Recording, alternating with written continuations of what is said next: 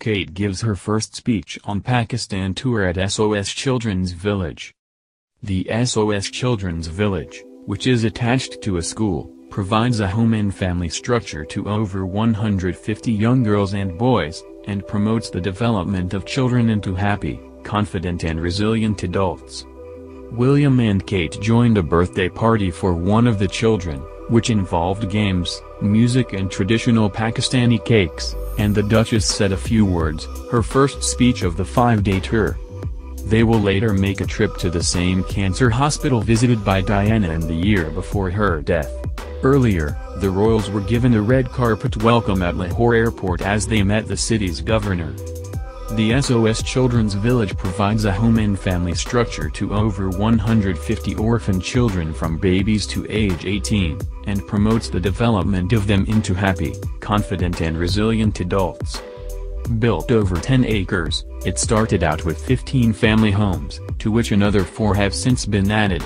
Touchingly, one of the homes was donated by a man called Muhammad Afzal, who grew up in the village and is now a successful Hong Kong-based businessman. He is one of a number of success stories, with children going on to become bankers, IT specialists, army officer, teachers, textile workers and government employees. The original site, the first to be built in Pakistan, had no provision for education, with children sent to outside schools. But it was quickly realized that the best possible education could only be offered by creating its own school on the site. The couple began by sitting in on a musical storytelling session and were given brightly colored finger puppets to play along with. It's very nice to be here, said William. My name is William. I am called William. How old you you? After asking each of the children's ages, he asked one little boy, How old do you think I am? 21, offered the child. I'll take 21, that's good. He laughed. I am a little bit older than that. Can you guess? I have my own children. A little boy called Louis and then there is Charlotte and them George, who is six.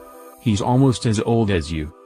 The couple then went into a private meeting with seven children who live in one of the boarding houses and their house mother. Afterwards they were invited to celebrate three of the children's birthdays, Iman, 12, Ibrahim, 6, and 80-year-old Danielle by singing a rousing rendition of Happy Birthday and helping them to cut a cake. Kate began an address in a greeting in Urdu, before wishing the three youngsters a happy birthday. In her first speech of the tour the Duchess said, We've had such an amazing time walking around the village and learning all about your lives. We have been really moved and touched by what we have seen, and by the happy home you have made. I'm aware that many of you have experienced extremely difficult times in your lives. But it is inspiring to see how you have used your strength and positivity to help transform the lives of so many young children here. She continued, being here in Pakistan this week, William and I have seen on several occasions how family is at the heart of your culture. Parents, children, aunts, uncles, grandparents all play important roles. You have reminded us exactly what family means. You have shown us too that it is not simply a term that describes the relationship between blood relatives.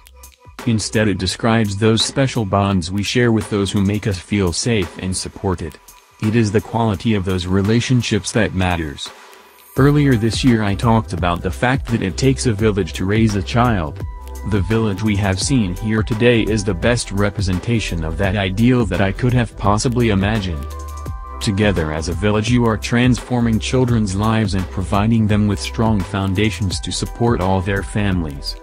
You have created a home, where children are given the love, protection, and support that will enable them to have a fairer chance in life.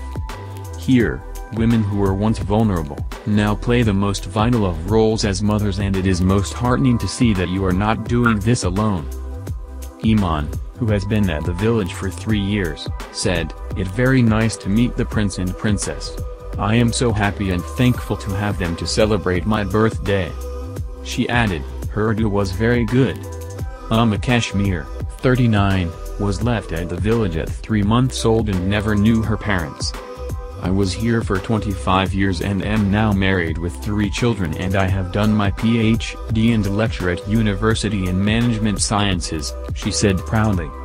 I never saw my parents and I never asked who they were. This was my family, they loved and cared for me. I didn't feel the need to find out. I was really delighted to be invited in to meet them. They seemed very impressed by what they saw here. It was an honor. William, accompanied by his wife, Kate, traveled from the capital Islamabad to the bustling city of Lahore today, where they will later make a trip to the Shaukat Khanum Memorial Cancer Hospital and Research Center. The couple were greeted this morning by officials and a posy of flowers before going into the airport terminal for a private meeting with the governor of Lahore, and the Duchess looked ethereal in ivory as she arrived. Kate, wearing a shalwar by Gul Ahmed and a shawl by Maheen Khan, kept her husband, Prince William, waiting for a few moments before they stepped off their official RAF Voyager plane. The Duchess was also wearing Asprey's Woodland Oak leaf hoop earrings,